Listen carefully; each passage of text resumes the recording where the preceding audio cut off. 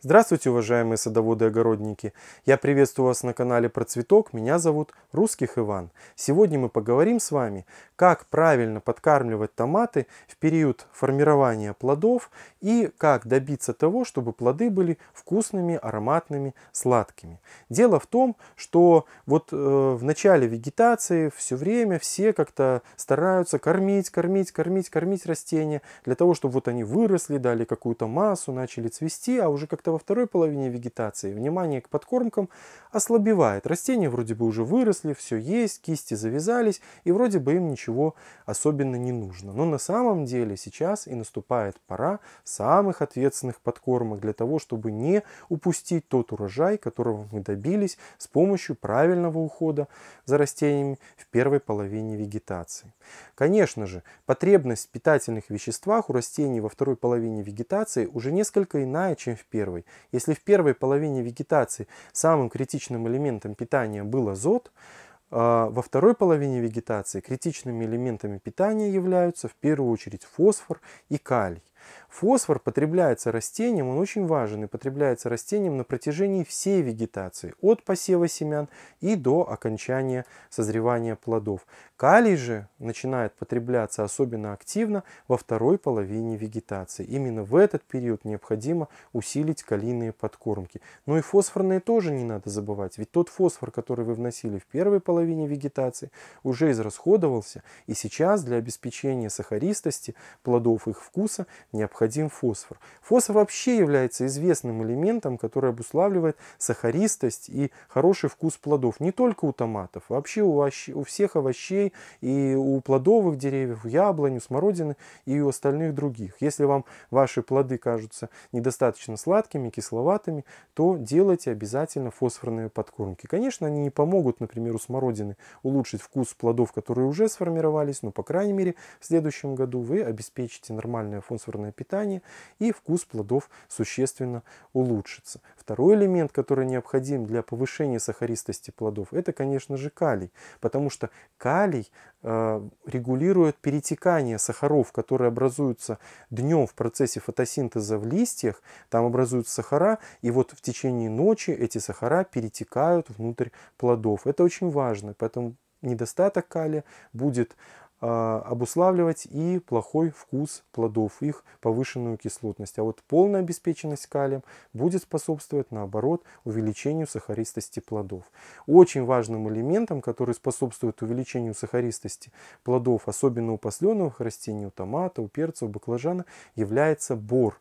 Бор а, он и чрезвычайно важен для завязывания самих плодов, но также и для повышения сахаристости. Бор регулирует многие процессы внутри растения, в том числе накопление сахаров в плодах. Очень важным элементом, который влияет на увеличение сахаристости плодов и их вкус, является магний. Магний входит в состав хлорофила, вот этого зеленого пигмента, который обеспечивает а, фотосинтез. И если растение будет испытывать дефицит магния, соответственно, оно не сможет нормально фотосинтезировать. Вы можете наблюдать некоторые признаки хлороза на листьях, потому что хлорофила мало, они становятся такие бледноватые. Соответственно, необходимо сделать также и магниевые подкормки. Таким образом, питание растений во второй половине вегетации должно делаться с упором на фосфор, калий, магний, а микроэлементные подкормки – это в первую очередь бор. Но есть еще один элемент питания, который очень хорошо влияет на вкус томатов. Это азот.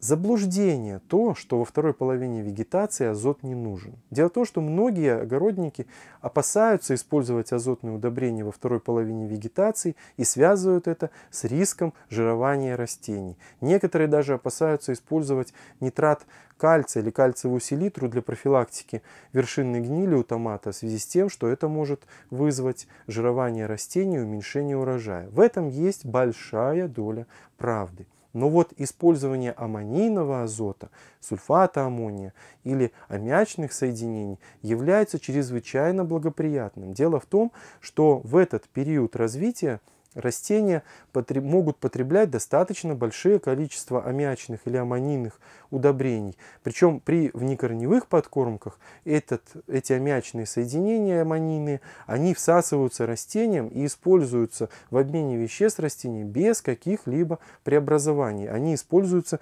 непосредственно и сразу же, и очень быстро. В этой связи не происходит накопление каких-либо нитратов, не происходит занитрачивание овощей. А вот как раз этот аммонийный азот способствует тому, что в плодах накапливается глутаминовая кислота или глутамат.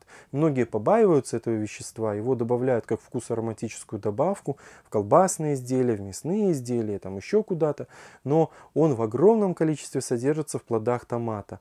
И впервые как раз выделен был оттуда, поэтому и само название этой аминокислоты, глутаминовая кислота, глутамат, содержит в своем названии слово томат. И именно если ваши растения будут испытывать дефицит аммонийного аминного азота в период формирования плодов, то вы рискуете получить плоды с низкими вкусовыми качествами.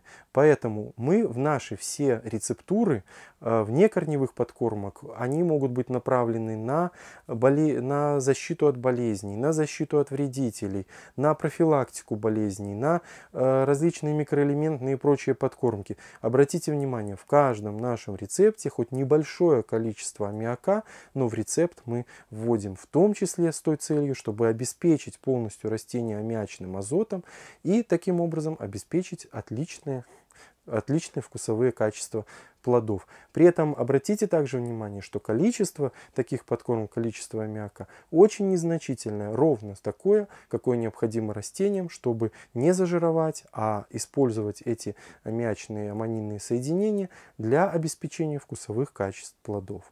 Надеюсь, вам теперь станет более понятно, как правильно и чем кормить ваши растения во второй половине вегетации и как добиться высокого качества плодов, их высокой питательной вкусовой ценности. Спасибо большое за внимание.